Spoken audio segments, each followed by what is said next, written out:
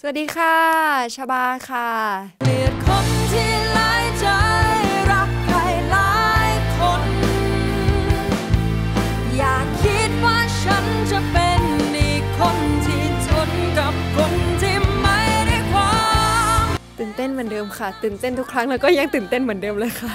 ก็อันดับแรกก็คือทำตาม step ของการที่จะมาร้องเพลง ทุกครั้งก็ท่องเนื้อแล้วก็แต่ที่สำคัญเลยก็คือทำความเข้าใจกับเนื้อเพลงอะค่ะ แล้วก็ เดาว่าสถานการณ์ในละครจะเป็นยังไงอะไรเงี้ยแล้วก็เพื่อที่จะได้ให้ให้สื่ออารมณ์ออกมาได้ตรงค่ะ ที่จริงแล้วทุกเพลงที่ชบาร้องกับ Chandelier นี่ก็คือเป็นเพลงแนวที่ชบาร้องอยู่แล้วก็จริงแต่ว่าทุกเพลงค่อนข้างยากค่ะ challenge ทุกเพลงเลย เพลงนี้ก็เป็นอีกหนึ่งเพลงที่ challenge เหมือนกันค่ะ มี improvise ที่พี่เขาทำมาแล้วก็แบบค่อนข้างสูงทางพี่โปรดิวเซอร์ทำมาแล้วก็ค่อนข้างสูงค่อนข้างเป็นโน้ตที่ยาก แล้วก็รวมไปถึงเรื่องของอารมณ์อะไรอย่างนี้ด้วยค่ะ เนื้อหาของเพลงนี้นะคะ ก็ตรงตัวตามชื่อเพลงเลยค่ะเกลียดคนหลายใจก็คือ เป็นเนื้อเรื่องของนางเอกที่ว่าผู้ชายที่ไม่ได้รักเดียวใจเดียว แล้วก็แบบเห็นหัวใจของผู้หญิงเป็นแบบเป็นของเล่นเป็น